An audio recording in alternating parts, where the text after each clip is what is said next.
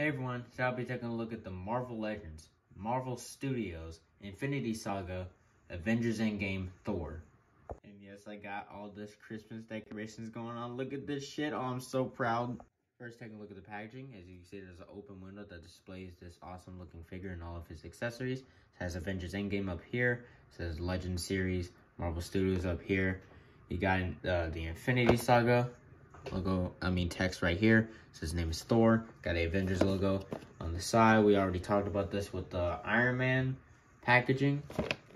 Yeah, it's just got some characters right here. Got some more characters right here. Infinity Saga up there. You got this nice looking poster up here. Got bio. Says got uh, says Thor up there. Got warnings, etc. On the bottom, more warnings. On the top, got Avengers Endgame Thor. Got some dust particles and stuff. But yet me let mm, blah, let let let me hurry up and get this guy open. For accessory he, accessories, he comes with two grippy hands right here that have an up, up and down hinge in it. Let me just straighten that hand out.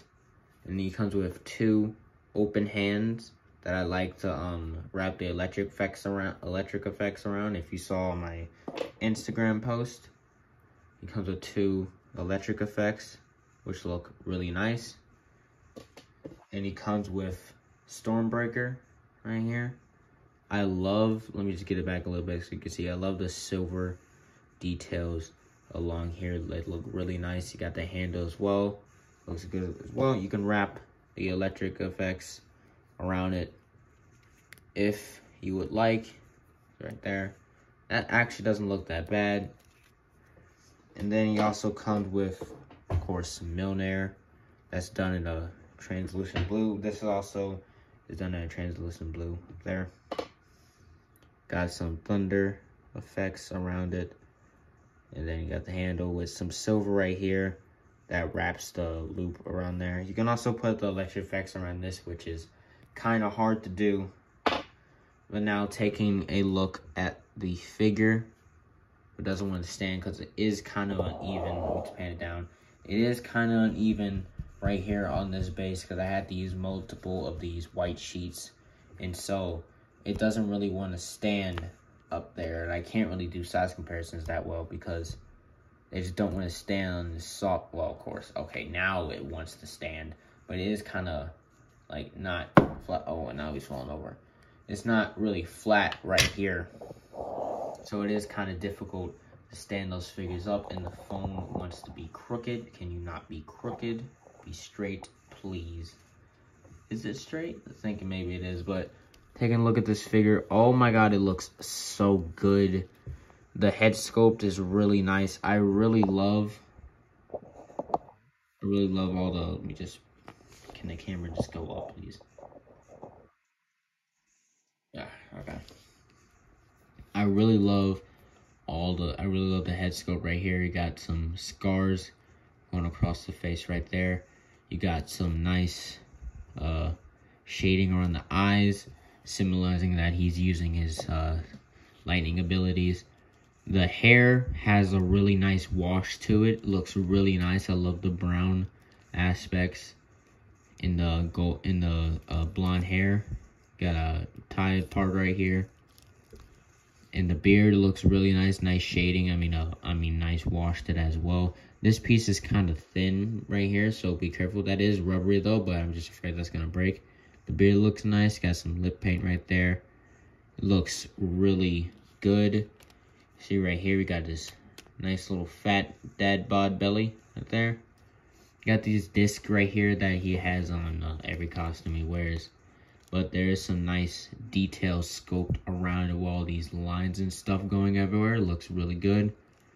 And then right here, you got some nice bronze uh, paint going on here. Got the nice details going across here. And I just because I guess I have to point out now, it is pinless. For the people that want to know, it is pinless right here. But the but the detail right here is really nice and the texture is nice as well. For the little gauntlets, Got some like uh, bands going across here, some wristbands uh, that are um, wrapped along here. The hands, of course. The cape nice. Well, before I talk about the cape, let me talk about the rest of the figure. There is some um, nice bronze paint going along here.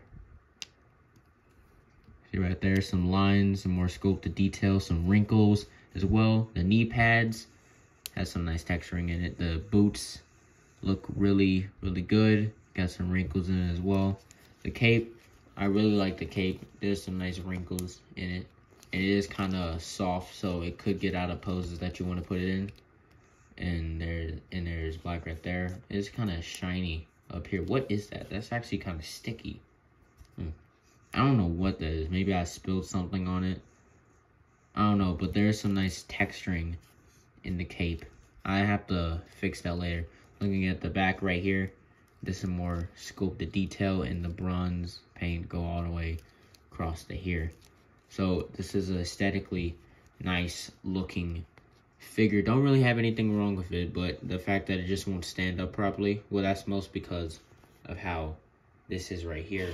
And I actually forgot to measure the figure, so you see how tall it is. It stands at oh, it wants to fall over. Let me just hold it up. It stands at about, you won't be able to really see it, but to the top of his hair right here, to about six and three quarters. But let me unzoom the camera. All right. Me, oh, a little cotton ball fell. This review is gonna turn out to be shit, isn't it? Because everything's falling over, everything's not really going well. Got all these lights everywhere, and then all this stuff supposed to simulate snow just not working out. I'm just gonna have to hold it up against the figure. Here it is against another Infinity Saga figure, Iron Man, and then let me just hold it together right here. Look at them, they're holding hands. Me just bring Captain America in here, and obviously you get what I'm trying to do. Except in in Endgame Thor, Captain America, and Iron Man fought Thanos, but obviously this isn't the proper Captain America, this isn't the proper Iron Man. But you gotta work what we got, right? Articulation time. There is a dumbbell joint up at the head, so he can look up farther than I thought he would. Oh, there's also is a dumbbell down at the base as well. You can look down that far. You get some head tilt, some rotation.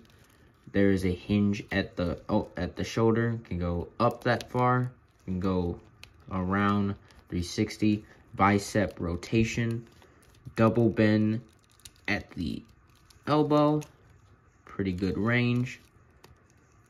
Wrist rotation, wrist can hinge up and down. That is no, that's down and up. I'm getting my, getting it confused. Ball joint at the mid torso allows you to crunch that much, crunch back that much.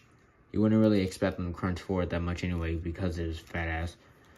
And go side to side, and you got rotation.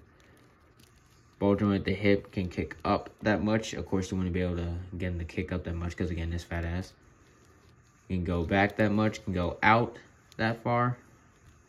Thigh rotation, double bend at the knee. There.